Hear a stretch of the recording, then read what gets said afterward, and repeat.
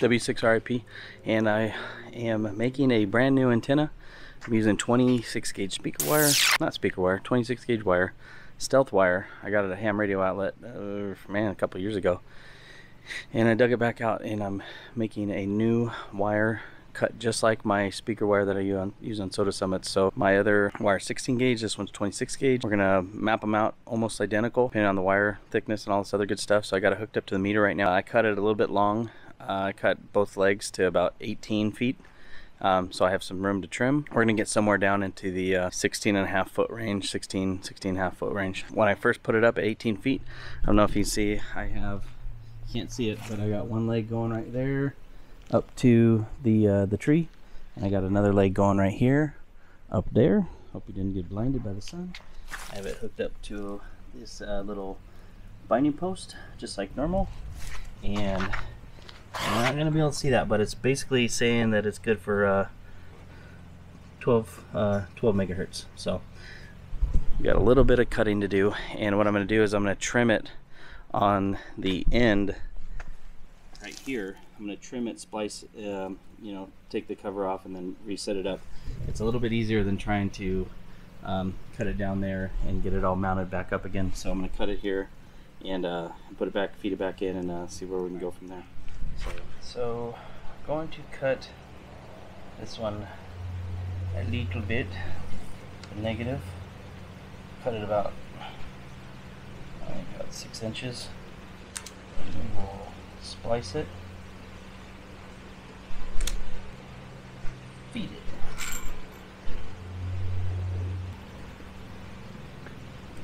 Positive side, I'm going to cut it about six inches. Damn good wire, I admit. Come on, get there. So this is going to be good, it's going to be tough. I like that. Um, I try to do something with speaker wire, 26 gauge speaker wire, and this stuff just like pull apart super easy. Kind of a joke.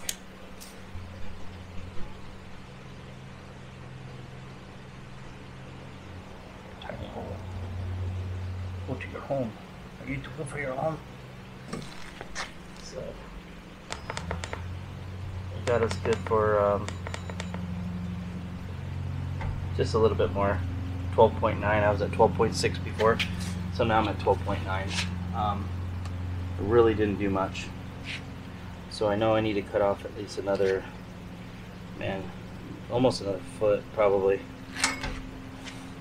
But I'm gonna do six inches.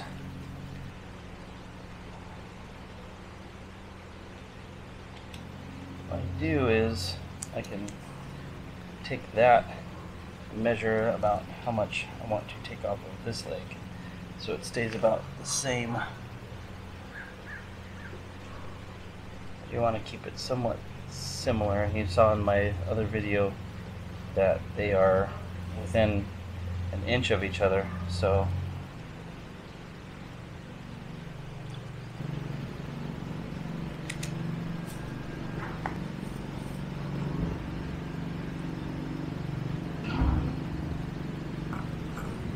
what I don't want to do is I want to make sure that this stays off the ground. I don't want to ground it out.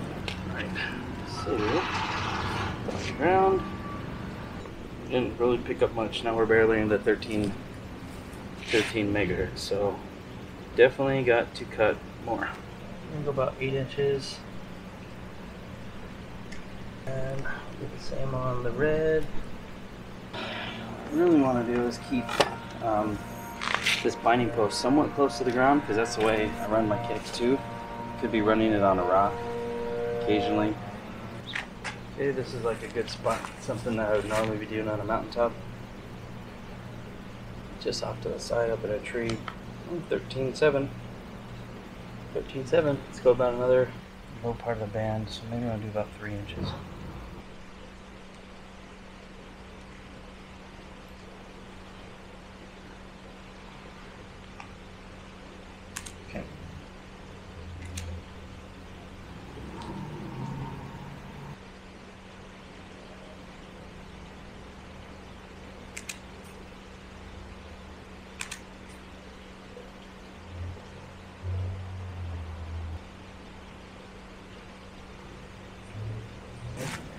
Since I'm inching in on it, I'm gonna go about another three inches. Um, that one got me about 200.2. And you go about another 0.2, so I'm gonna go about another three inches up at each side. Okay if I'm a little too long. I don't. I definitely don't want to be too short. Okay, that's right at the 14 megahertz range. 14063. I'm dipping down to one to one. I got about three feet on this guy. So now we need to throw it on the KX2 and uh, see what it comes up with. Not really. All right.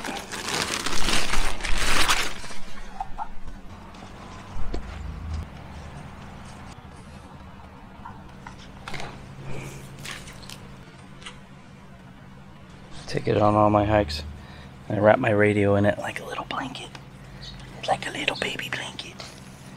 So, I gotta make sure that's up off the ground. Okay. Uh, I like to run in the 143340 range. KX2 tunes up to. That first little number that shows up there is what it starts at. Two to one it linked up right at a two to one, tuned down to one to one. That's not bad. That's really not bad. I mean, for just putting in about a 20 minutes of, of trimming, I think that'll do. 1.7 So the fact that it was already tuned two to one and then went down down to there is about 1.7 to one, tuned down to one to one. Um, you know, when these things tune, they have a little bit of a uh, memory in there, so. Um, I wouldn't call it a fresh tune, um, but I'm definitely in the band anywhere from lower floor 14 megs to uh, upper 14 megs, and uh, able to tune down to one to one, no problem. I mean, even a two to one with no tuner is okay, you know, in a lot of people's books. So I think from there, I'm just gonna leave it. I'm gonna kind of tidy up the uh, the connections at the ends and uh, make sure that's nice and tight.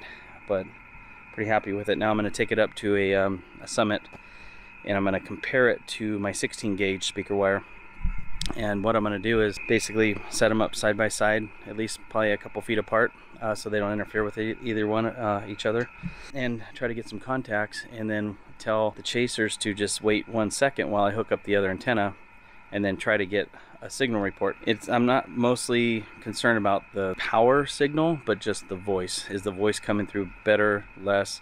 Is there more clarity? Is it less? You know, which one's coming through more, like which voice is more powerful is uh, what I'm going to be searching for. So with all settings exactly the same, same radio, same everything, same microphone, everything. Uh, the only difference is going to be the antenna. And the antennas is going to be just about the same, tuned up to one to one.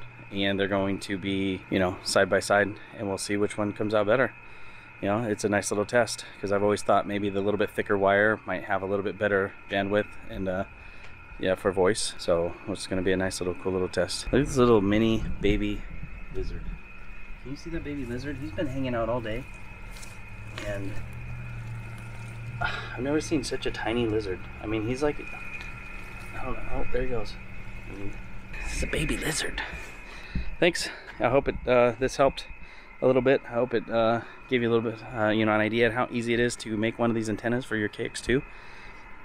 Um, I like, I really like running 20 meters on the SOTA Summit because during the day, 20 meters just is the best. Sorry, but um, you know, I don't run CW. Um, if I ran CW 40, you know, different different bands 30, you know, think different things are gonna do better. But um, I like running 20. It's gonna be super light. So now what I'm gonna do is I'm gonna roll up this antenna and we're gonna see how much it weighs because I know it's gonna be a lot less than my uh, my 16 gauge speaker wire. So uh, that's coming up next so hold on. Now it's time to throw both antennas on the scale side by side one after another so you see the difference. It's pretty astounding. Um, like I said a half a pound wasn't a whole lot you know going up mountains for something that was good quality and really worked. I knew I was gonna get out didn't have any issues but now you know here we are a couple years later and now I'm looking to do something a little different. So we're gonna check it out right now. Okay, watch this. So the old setup, the binding post, is, hope you can see that, 0.6 pounds.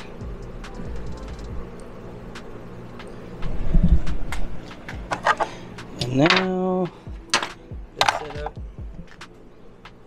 0.1, pretty awesome. Here you go. Saved about, I don't know what, seven ounces, eight ounces, right around there. So not bad. All right, check it out. Let's see what the uh, see what the signal reports say. That's going to be the key determining factor whether that thicker wire is worth it or not.